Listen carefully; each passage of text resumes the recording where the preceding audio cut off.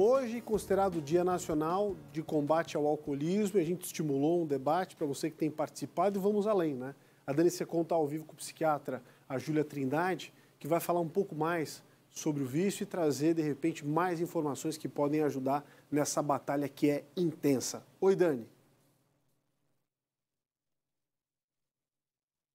Oi, Polito. Pois é, batalha intensa mesmo e que por muitas vezes tem um tabu acerca disso, né? Muito, muita gente fala sobre alcoolismo, mas pouco, na verdade, se discute a conscientização e também todo, todo o mito que tem por cerca, por, por trás desse problema. É uma doença, sim, a gente precisa esclarecer alguns pontos para fazer esse combate, para tirar esse tabu sobre esse assunto e conscientizar cada vez mais. Hoje, então, dia 18 de fevereiro, Dia Nacional de Combate ao Alcoolismo, e como você disse, eu estou aqui com a psiquiatra Júlia Trindade, ela que vai falar com a gente um pouco sobre as nuances dessa doença, né? Como a gente vinha comentando antes, muitas pessoas acham que é um problema muito longe, muito distante da realidade. Mas é importante ficar atento aos sinais, né, Júlia? Com certeza. Primeiro a gente tem que reforçar que não é uma questão de caráter, não é quem a pessoa é. A pessoa que tem um problema com álcool, ela tem uma doença, ela tem um transtorno e precisa ser tratado. E a primeira coisa para a gente poder tratar é identificar. E aí a gente tem quatro perguntas simples que a gente pode se fazer para ver se eu estou realmente tendo algum problema com álcool. A primeira delas é: eu senti em algum momento que eu precisava diminuir o meu consumo de álcool? Outra coisa, as pessoas me questionam: olha, teu consumo de álcool está excessivo, eu tenho algum problema familiar de relacionamento pelo consumo de álcool?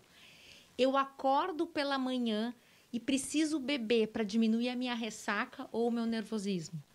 Eu me sinto aborrecido pela quantidade de álcool que eu consumo. Que eu consumo.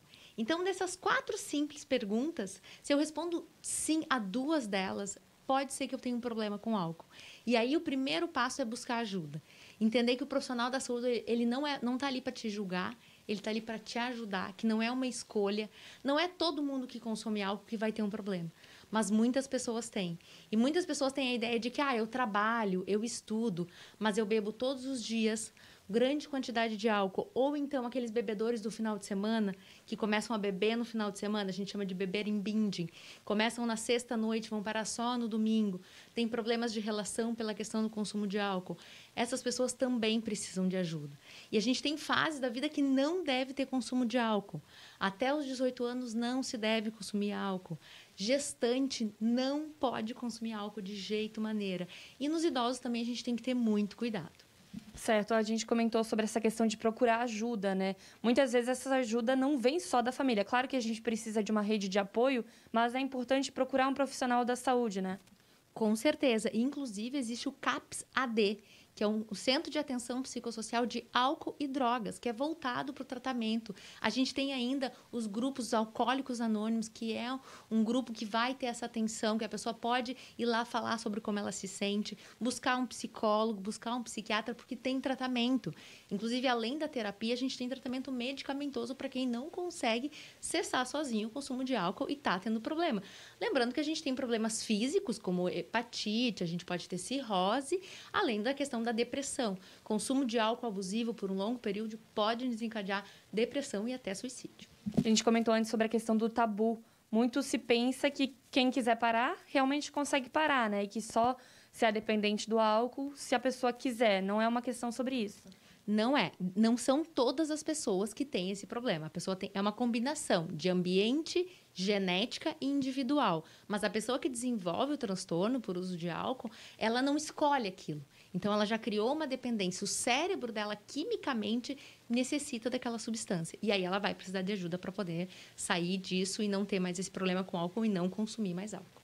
Obrigada, Júlia. Pois é, Polito. Fica, então, a dica, a conscientização e também a importância de falar sobre o tema, de procurar saber, se informar e também, claro, de procurar ajuda se algum sinal desses quatro que a Júlia falou lá no começo aparecerem com mais ênfase na sua vida. É muito importante a gente sempre combater o uso em excesso de álcool, né? E também o alcoolismo, mas sempre com conscientização e informação e nunca com preconceito sobre isso, né, Polito?